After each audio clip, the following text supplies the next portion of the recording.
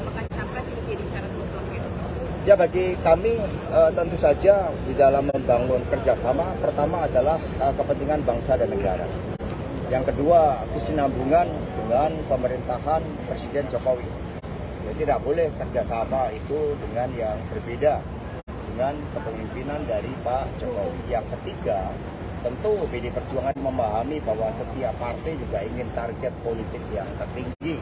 Tetapi bagi PD Perjuangan karena ini sudah diputuskan oleh eh, lembaga pengambil keputusan tertinggi yaitu Kongres, maka PD Perjuangan berketetapan sesuai dengan arahan Ibu Mega untuk mendorong eh, calon presiden dari eh, internal kader PD Perjuangan. Kriteria lain Pak buat partai lain untuk bergabung dengan PDIP? Loh bergabung itu kan harus ada kesatuan pikiran dan hati. Tapi orang melihat bahwa ketika PD Perjuangan memegang tampuk kekuasaan atas dukungan rakyat, kami bisa bekerja sama dengan baik. PD Perjuangan bisa menjaga etika kerjasama itu. Dan kerjasama bagi PD Perjuangan itu tidak digerakkan oleh untuk eh, mengkooptasi kekuatan kapital, tetapi untuk mendapatkan eh, suatu karya yang terbaik, melakukan eh, upaya terbaik bagi kepentingan rakyat Indonesia. Apakah sudah ada komunikasi dengan partai-partai religius Pak?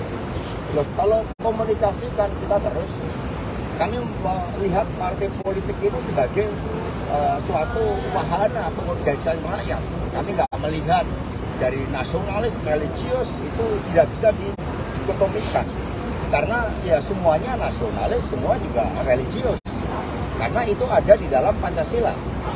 Religiusitasnya terlihat dari sila pertama yang dibumikan pada sila kedua kemanusiaan. Di dalam kemanusiaan itu ada nasionalisme ada rasa bangga terhadap bangsa Indonesia ada cita-cita pembebasan dan juga ada semangat membangun eh, cita-cita persatuan tanpa membedakan suku agama dan sebagainya. Jadi eh, PD Perjuangan eh, membedakan partai bukan dalam diksi nasionalis religius